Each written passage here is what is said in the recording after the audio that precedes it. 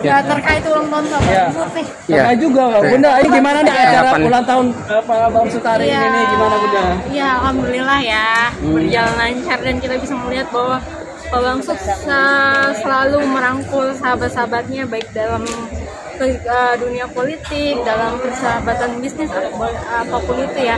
Dan saya kenal figur beliau adalah se- seorang yang sangat supel, eh, bergaul dalam segala jenis kalangan masyarakat.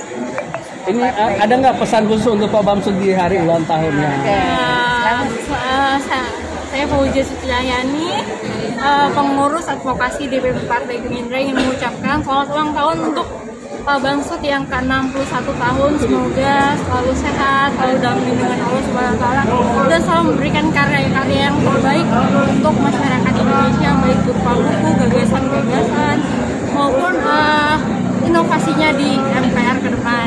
Dan semoga Pak Bamsud selalu bisa menjadi wakil rakyat yang amanah. Untuk untuk eh, persiapan ibu sendiri gimana?